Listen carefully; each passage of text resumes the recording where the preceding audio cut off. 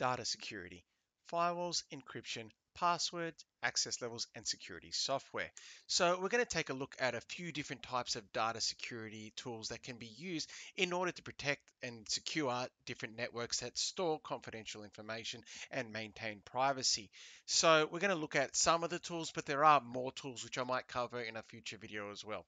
But firstly, we'll take a look at a firewall. This is software used to protect data that is stored on a network. This is achieved through implementing and using a series of predetermined security rules. So these rules are in place and they might look at IP addresses, see where the data is coming from. It might look at a verified username associated with the sending of that data. So it has rules in place. And if those rules aren't followed, that data can't come into the network. Now, but the packets of data they are accessed both entering and exiting the network so we're seeing things going both into the network and out of the network. And it, going both directions, the packets are checked against the existing rules. And this helps determine whether a specific packet or source may be deemed malicious. All right, so what kinds of data is coming in? What's it trying to do? What data is it requesting from the network or the specific platform or service that we're sending back out to? And based on those patterns and the type of data and the type of packets, we then can deem whether or not it is malicious and if it's something we will ultimately block from entering the network if that is done so. The second area we'll look at is that of encryption. Now, this process scrambles data using public or private key encryption, okay, so that if the data is read by an unauthorized user, whether during transmission or storage, it will appear as incoherent symbols. So if we're accessing data on a network and we're communicating with a server, sometimes you'll see that a lock in the actual uh, browser window of your web browser where the domain goes. If there's a lock there, it means data is being encrypted during transmission, which means when it's being sent from your system to the server, it's being scrambled, then sent, and then when received, it's being unscrambled so it can be read on the server's end too. This can also uh, happen for local networks as well, with specific hard drives being used on systems. They can also be scrambled too, so that the information can't be read by unauthorized users as well. That's why we say transmission and storage. And essentially, it's turning it to incoherent signals. So if an unauthorized user does look at the data, it won't make sense. It's just scrambled. Okay, the same encryption key then needs to be used for the decryption process, which is the reverse process of turning the scrambled data back into a readable form, so that an authorized user who has the public or private encryption key can then read the message and comprehend it back in its readable form. All right, so that is used both for storage and transmission. The third area we're all very familiar with, and that's just the use of passwords. Okay, a secret word or string of characters that is made up of combinations of letters, symbols, and numbers. Now, combination is key because we don't want our passwords to be easily guessable. Passwords are entered on a login screen, usually along with a user's username, and they check the username along with password in order to authenticate a user and grant them access to a network.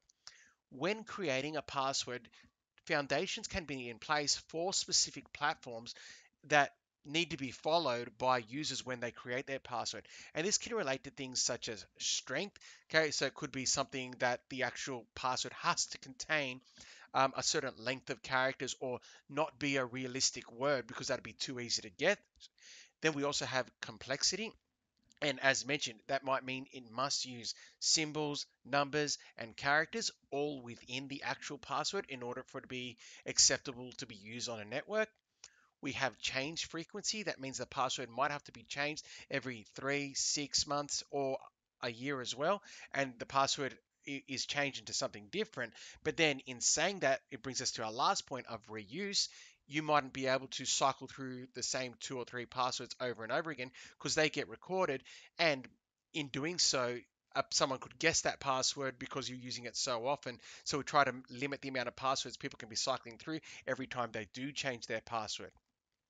Companies need to make sure that they do have these rules in place so that passwords aren't easily guessable because it's yes, it is to the user's detriment if their password gets guessed and someone Uh, gets their access to a network, but it's not just to their detriment, it's to everyone within the organization's detriment. Because if they can get in, they can look around then and look at other people's data depending on the access privileges that people had. And then that brings us to our next point of user access levels, because these are often mapped to user accounts, okay, which passwords are using in conjunction with. So permissions need to be established in order to determine which users and within an organization have the right to view specific information. Now, that's just saying reading data, but we can also determine what they can do with that information, such as edit, which means make changes to information, read only, just look at it and not do anything, comment on it, which means suggest things to happen to that information, or even share that information with others, which could lead to a disclosure, okay, uh, that is out of our control if an unauthorized party gets a user account with that access level that has share privileges and they can share it with pretty much anyone they want. So that's why we've got to hence go back to our previous point, have strong passwords in place so they're hard to guess, so unauthorized users can't use other people who aren't authorized account in order to gain access into networks. So user access levels are very important. And it's also just to protect data within an organization too. Not everyone within an organization should have the same rights to view all data. Access levels should be mapped to people's job roles and tasks. People only be able to see sensitive data that is relevant to their jobs. The final area we'll look at is of security software, and we'll talk about two types here. The first type being malware and virus detection software, which scans systems for known malicious software based on virus signatures. Virus signatures are lines of code that are known to be malicious. And the reason it looks for the line of code as opposed to virus names is names can be changed very easily on a, a program. Okay, you just go rename, bang, it's got a new name.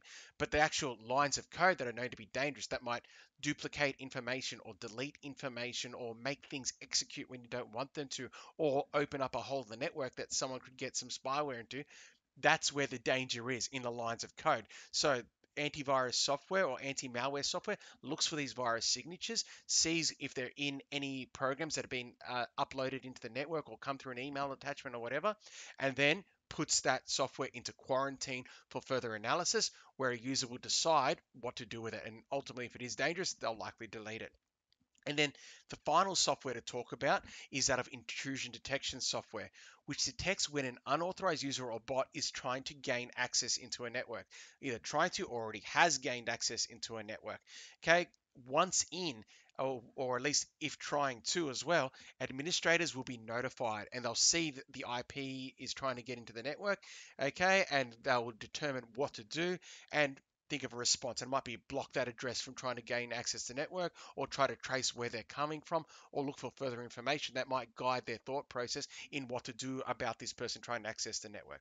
So I hope this video is giving you an understanding of these five different classifications of data security tools that can be used in place.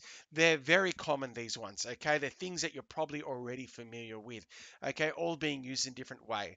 Ultimately, a firewall protecting the network itself with its predetermined rules, encryption, protecting data during transmission and storage through scrambling information and making it incoherent to those who don't have the decryption key.